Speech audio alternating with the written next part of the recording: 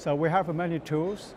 Uh, we use, uh, you know, uh, for the for the business management, we use SAP, and we have our own like a PowerSphere. And then, uh, you know, with the, PowerSphere, we have many different applications.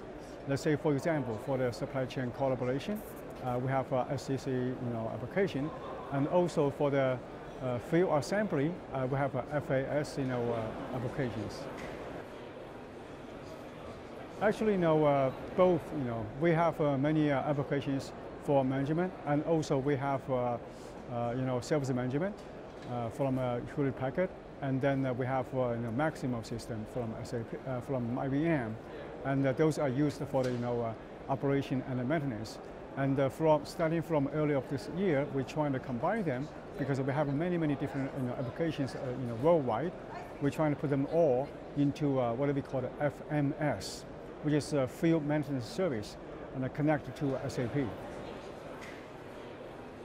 Uh, we use uh, SAP, we use uh, FAST, and then okay, we have uh, uh, you know many different customer requirements. See you know what time, know, which month we're going to you know deploy or install you know the wind uh, wind, wind turbines, and then we got those planned, and then so we put in place some supply chain you know plan and make sure we got all you know all the transportation and all like you know the field you know tools and they're together, and then the fast actually is connected to you know to the you know the, the major parts and also the wind turbines.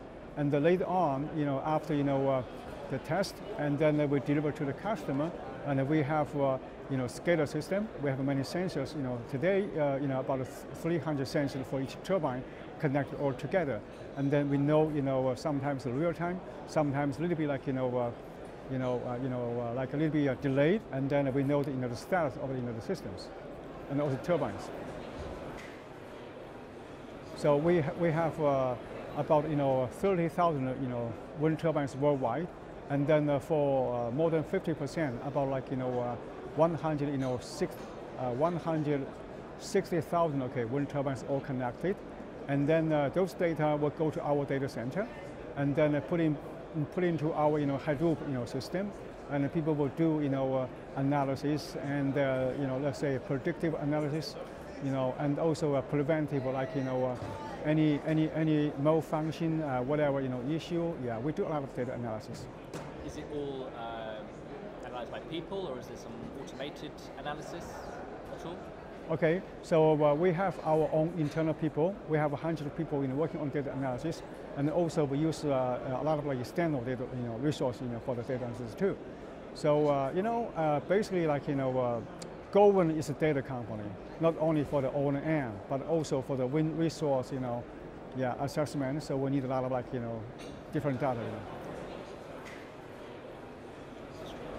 Okay, I think you know uh, today, uh, you know, uh, think you know, look back about maybe 15 or 20 years ago. Okay, at that time, okay, wind turbine is mostly just mechanical.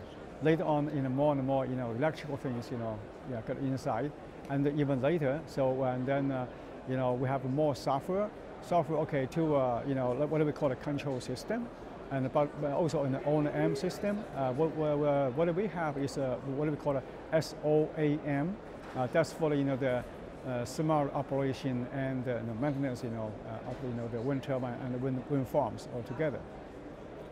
So I think you know moving forward, and more and more the company you know when I you know saw this show, I, I, I have seen in many even smaller companies trying to do all like you know cloud-based you know data analysis. I, we are doing the same thing.